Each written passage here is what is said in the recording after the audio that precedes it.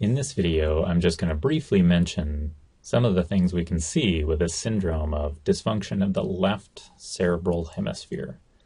Left cerebral hemisphere, at least in most people, left cerebral hemisphere syndrome. So, symptoms and signs we could see with dysfunction of the left cerebral hemisphere. So, let's say when we're looking at this person from the front, this left cerebral hemisphere the left side of the cerebrum has some sort of abnormality and it's not functioning properly. One of the abnormalities we may see involves dysfunction of upper motor neurons to the right side of the body. So that's weakness and or the other upper motor neuron signs, spasticity, hyperreflexia, clonus, and the plant extensor plantar response. And the reason for that is that the upper motor neurons start way up here in the left cerebral hemisphere for the right side of the body primarily.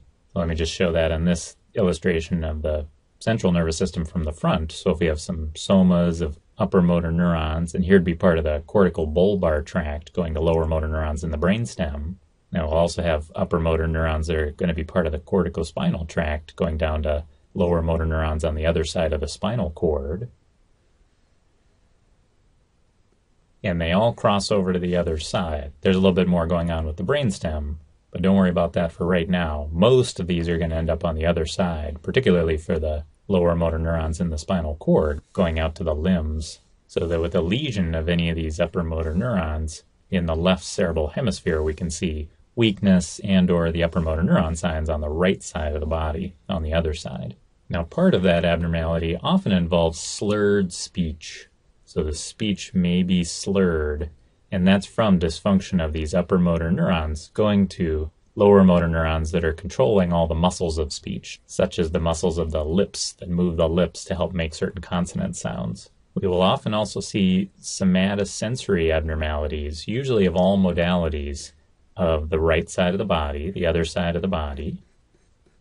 And the reason for that is because all that somatosensory information coming in from the right side of the body to the spinal cord and the brainstem is going to travel up through a few different pathways to get up to the cerebrum. But once it gets up there, it's going to be crossed over, and it's all going to be coming over to the other side of the cerebrum, to the other cerebral hemisphere. So that pretty much all of the somatosensory information from the right side of the body is coming over to the left cerebral hemisphere, to an area right around here, but don't worry about exactly where this is now.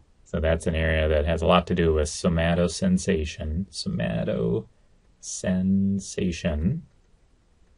Right there ish. So a lesion of that area or, or these axons as they're passing through the left cerebral hemisphere can cause somatosensory abnormalities of the right side of the body. Oh, I forgot to l- label these upper motor neurons too. Here, let me write that in. Upper motor neurons. So the upper motor neurons and the somatosensory tracts are similar in that they start and finish on other sides of the body in the brain. So the ones that involve the left cerebral hemisphere generally involve the right side of the body. And the same is true for another one of the senses, which is vision. So let me just draw a big kind of semicircle here to represent vision to the right side. And with dysfunction of the left cerebral hemisphere, we often see abnormal or lost vision off to the right side. We can go into the pathway of that in later videos, but the gist is that that visual information from the right side ends up coming over into the left cerebral hemisphere to an area in the back here. And don't worry exactly about where the area is, but this is where where visual information ends up. Visual information on the other side of the brain from the actual light that's coming in from the other side of the body. So that with dysfunction of the left cerebral hemisphere or the specific parts that involve vision, we can see loss or abnormalities of vision to the other side, to the right side.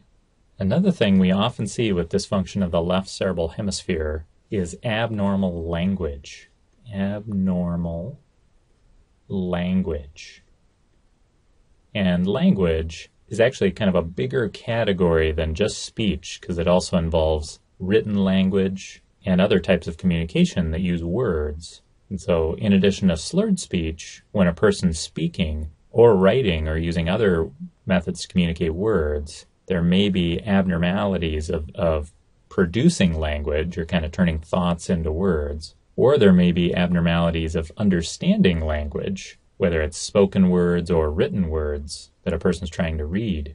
And the reason for that is that there are some areas that are in most people over in the left cerebral cortex in a few different parts of the brain that play a big role in our ability to use language to turn our thoughts into words and turn words into thoughts. And with dysfunction of the left cerebral hemisphere or these these areas that involve language, we can see abnormal language. There's actually a term for that, and that term is aphasia.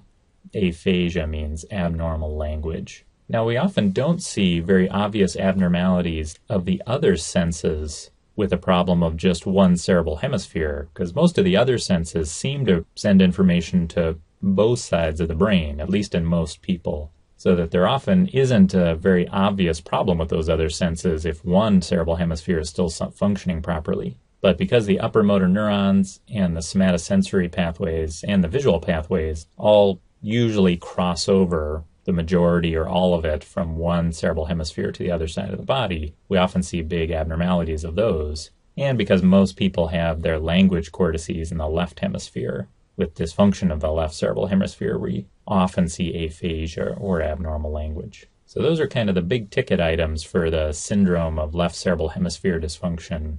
But it can get more complicated than that because there are a number of other things going on in the cerebral hemisphere. And we can get these partial lesions where just part of the cerebral hemisphere is involved instead of the entire cerebral hemisphere. So there's some variations on this, this these general ideas.